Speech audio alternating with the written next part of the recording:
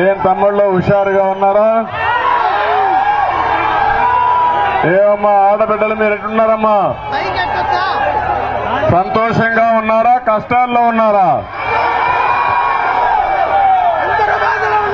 నేను ఈరోజు వచ్చింది బాధుడే బాధుడు కార్యక్రమం కింద.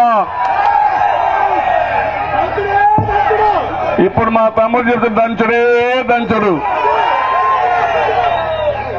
నేను ఒకటే అడుగుతున్నా ఇక్కడుండే మిమ్మల్ని అందరినీ. ఈ ప్రభుత్వం వచ్చిన తర్వాత మీ జీవన ప్రమాణాలు పెరిగాయా తగ్గాయా? మీ ఆదాయం పెరిగిందా? తమ్ముళ్ళు మిమ్మల్ని అడుగుతున్నా. ఏమమ్మా ఆదాయం పెరిగిందా మీకు?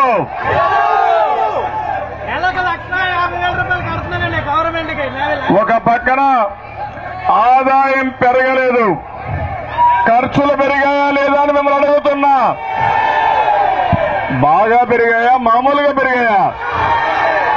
బాగా పెరిగాయి. నిజమేనా? బాగా పెరిగాయని చేలిపైకి ఎత్తండి ఎవరైనా పెద్దవాళ్ళుంటే పెరగలేదు అనేవాళ్ళు ఎవరన్నా ఉన్నారా? ఉంటే చెప్పండి వాళ్ళ మాట అనుకుంటున్నా ఎవరైనా వైఎస్ఆర్ కాంగ్రెస్ నాయకులు ఉంటే వాళ్ళకి రహస్యంగా ఏమైనా నిత్యావసర వస్తువులు సరఫరా అవుతున్నాయా?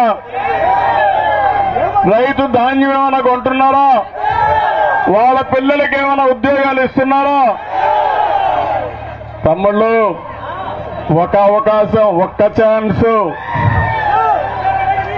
అడిగాడా లేదా? మీరందరూ మాయలో పడ్డారా లేదా? ఒక్క ఛాన్స్ అంటే ఈడ మీడియా వాళ్ళ కష్టమా మీరంతా కూడా ఆ రోజు ఒకటే ఆలోచించారు. ఏదో ఒక ఛాన్స్ అడిగాడు. అంతప్పుడు రాజశేఖర్ రెడ్డి చూశాం ఈయన కూడా చూద్దామని అందరూ ఓట్లేశారు. నూట యాభై రెండు సీట్లు గెలిపించారు. నేను అడుగుతున్నా నూట యాభై రెండు సీట్లతో జగన్మోహన్ రెడ్డికి మదనెక్కింది ముందుగానే కోతి. కోతి కళ్ళు తాగినప్పుడు అదే మరి ముళ్ళు కొట్టినప్పుడు ఎంత ఏ విధంగా ప్రవర్తిస్తుందో ఆ విధంగానే జగన్మోహన్ రెడ్డి ప్రవర్తిస్తున్నాడు. మీరు ఒకసారి ఆలోచించండి. మొట్టమొదటిసారిగా తెలుగుదేశం పార్టీ పైన దాడులు చేశారా లేదా? అచ్చెన్నాయని అరెస్ట్ చేశారా లేదా? రవి మీద కేసులు పెట్టారా లేదా? ఎందుకు తమ్ముళ్ళు ఏం తప్పు చేసా తప్పు చేశావా? భయభ్రాంతులు చేయడానికి నా మీద కేసులు పెట్టాడు ఈ జగన్మోహన్ రెడ్డి. అంతేకాదు మా ఇంటి మీద దాడి చేశాడు. ఏవైతే డ్రగ్స్ అన్ని వచ్చాయి గంజాయి ఉందని గట్టిగా పోరాడితే తెలుగుదేశం పార్టీ దేవాలయం పైన ప్రజల దేవాలయం తెలుగుదేశం పార్టీ ఆఫీసు పైన దాడి చేశారు. అదే కాకుండా అసెంబ్లీలో ఈరోజు ఒకసారి చూస్తే అసెంబ్లీలో నన్ను అవమానం చేయడం పర్వాలేదు భరించాను. మా కుటుంబాన్ని కూడా అవమానం చేసే పరిస్థితికి వచ్చాడు. నేను ఆ రోజు చెప్పాను ఇది శాసనసభ కాదు. ఇది కౌరవ సభ. ఈ కౌరవాల్ని వధించి ధర్మాన్ని పరిరక్షించి మళ్ళా గౌరవ సభకు వస్తారని సవాలు విసిరా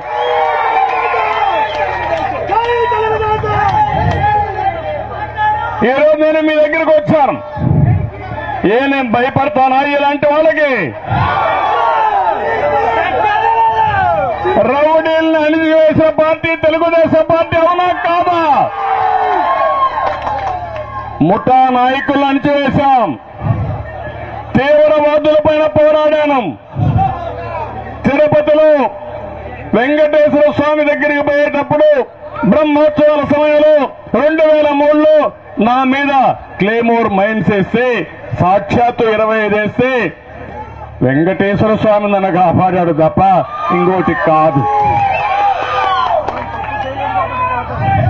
నేను తప్పు చేయలేదు కాబట్టి కాపాడాడు. ఇంకా ఈ రాష్ట్రానికి ఏదో చెయ్యాలి అని నన్ను కాపాడని నేను అనుకుంటున్నా.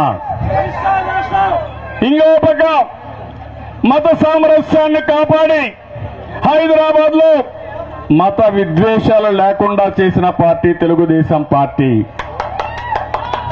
ఇప్పుడు నేను చూస్తున్నా ఏదో నన్ను తిడితే నేను భయపడిపోతాను అనుకుంటున్నారు మా అచ్చెన్నాయని అరెస్ట్ చేస్తే భయపడిపోతాం అనుకుంటున్నారు కోన రవికుమార్ పైన కేసులు పెడితే భయపడిపోతాం అనుకుంటున్నారు కబద్దార్ జాగ్రత్తగా ఉండండి.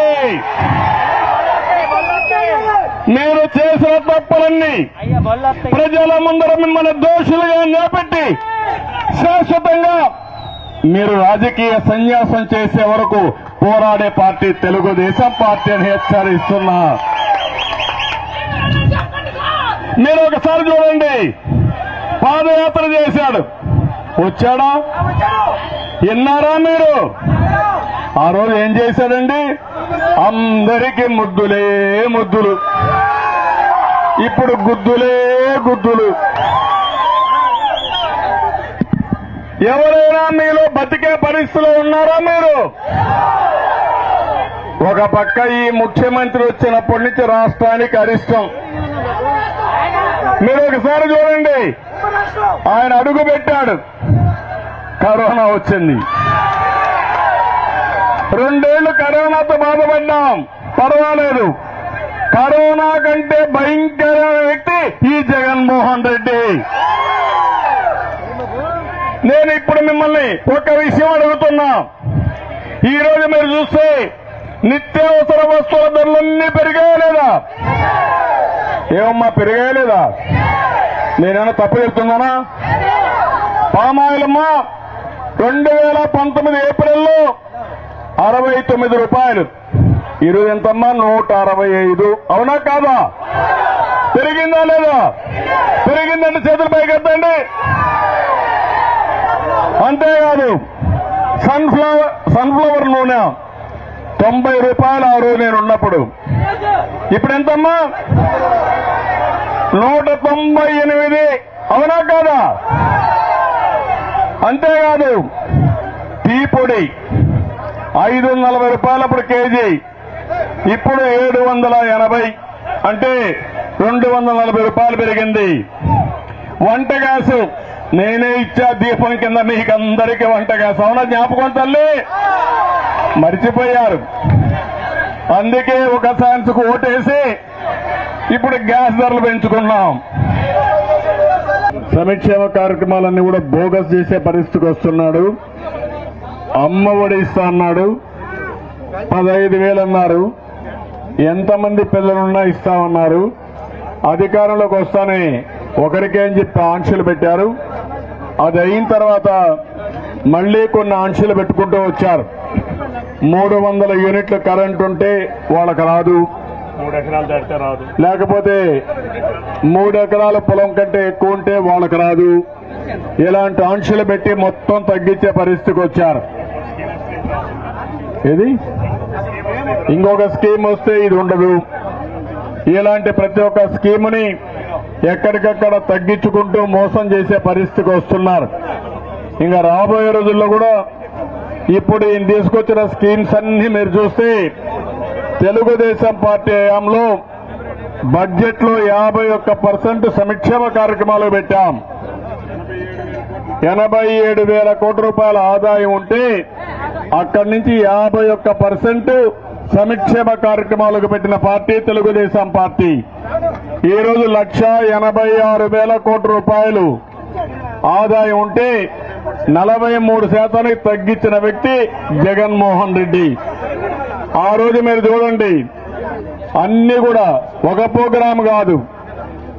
ఏదైతే ఇన్సూరెన్స్ తీసుకొచ్చాం చంద్రన్న బీమా. చంద్రన్న బీమా తీసుకొచ్చి ఎవరన్నా చనిపోతే యాక్సిడెంట్లో ఐదు లక్షల రూపాయలు మీకు ఆర్థిక సహాయం చేశాం.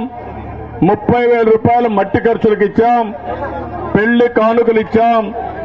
పండుగల కోసం సంక్రాంతికి గాని అదే మరి రంజాన్కి గాని ఇంకో క్రిస్మస్ గాని ఆర్థిక సహాయం చేశాం. ఎవరైనా పిల్లలు కడుపులో పడినప్పటి నుంచి చనిపోయే వరకు వాళ్ళని ఆదుకున్న పార్టీ వివిధ పథకాలు తీసుకొచ్చిన పార్టీ తెలుగుదేశం పార్టీ అని చెప్పి కూడా నేను మీకు తెలియజేస్తున్నా. అవన్నీ పోయినాయి. ఎప్పుడో స్కాలర్షిప్ మేమందరం నేనున్నప్పుడు కంటే నేను చిన్నప్పుడు చదువుకున్నప్పుడు స్కాలర్షిప్లు వచ్చేటివి. అవన్నీ మా రద్దు చేసి జగన్ రెడ్డి ఏదో కొత్తగా ఇచ్చినట్టు ఇప్పుడు కొత్తగా విద్యా వస్తని విద్యా దీవెనని కొత్త కొత్త పేర్లు పెట్టి మొత్తం మోసం చేసే పరిస్థితికి వచ్చాడు. ఈ విషయం కూడా మీరు గుర్తుపెట్టుకోవాల్సిన అవసరం ఉంది. అన్నిట్లో కూడా తరుగుదల తప్ప ఎక్కడా పెంచిన దాఖలాలు లేవు. ఒక్కసారి ఈ విషయాలను మీరు ఆలోచించండి. మళ్ళీ మళ్ళీ వస్తా ఉంటాం. అన్ని విషయాలు మాట్లాడుకున్నాం కానీ ఒక్క విషయం మాత్రం మీరు బాధ్యతగా ఉండాల్సిన అవసరం ఉంది. నేను చెప్పిన విషయాలపైన మీరు చర్చించుకోండి. ప్రతి ఒక్క వ్యక్తి ప్రతి ఒక్క కుటుంబం మీ భవిష్యత్తు కోసం ఈ ప్రభుత్వం పైన రాజీ లేని పోరాటం చేయాల్సిన అవసరం ఉంది. దానికి ముందుకు రమ్మని మరొక్కసారి ఈ బాధుడే బాధుడు కార్యక్రమంలో మీ అందరికీ పిలిపిస్తూ అందరికీ నమస్కారాలు. జై హింద్.